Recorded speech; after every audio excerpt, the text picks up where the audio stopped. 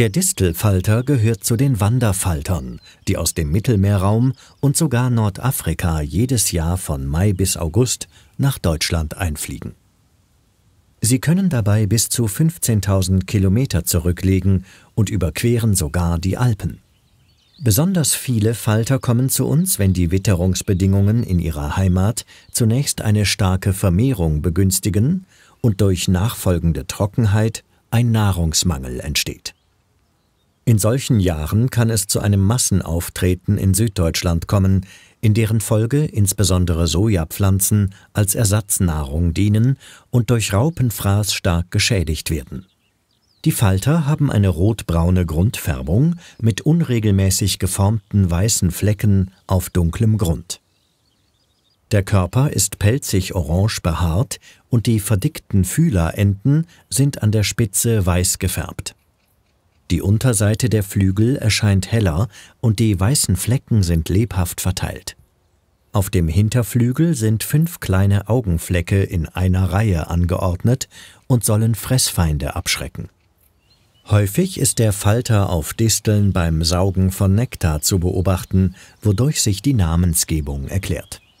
Die Eier werden ab Ende Mai einzeln auf die Blattoberseite der Sojablätter abgelegt. Sie sind grau-grün gefärbt und haben eine kegelförmige Gestalt mit Längsrillen. Der Befall zeigt sich zunächst an gespinsten, eingerollten Blättern und grünlich-schwarzen Kotkrümeln. Später sind die Raupen und der dadurch verursachte Lochfraß an der Sojapflanze deutlich sichtbar. Der Befall ist innerhalb des Feldes oft in Nestern konzentriert und meist in der Nähe von Disteln. Die bis vier Zentimeter lange Larve ist schwarz mit einer hellen Seitenlinie und mit Dornen bedeckt. Bei den jungen Raupen sind die Dornen schwarz, später weiß und verästelt. Die Junglarve lebt auf der Blattoberseite zunächst unter einem schützenden Gespinst. Später spinnt sie ein Blatt tütenförmig um sich herum zusammen. Ältere Raupen halten sich dann aber ungeschützt fressend auf den Blättern auf. Die Larven verpuppen sich schließlich kopfüber, von einem Trieb hängend in einer sogenannten Stürzpuppe.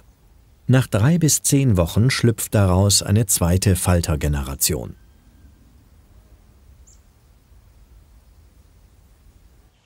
Im September und Oktober fliegen sie zurück in die Überwinterungsgebiete des Mittelmeerraumes.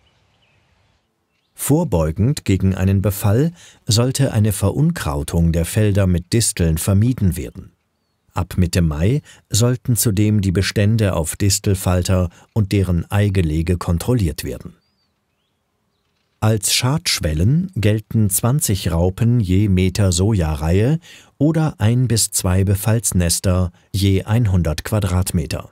Bei Überschreiten dieser Schadschwelle können Pflanzenschutzmittel auf Basis von Bacillus thuringiensis Eizerwei angewendet werden. Dabei sollten rechtzeitig die empfindlicheren Junglarven bekämpft werden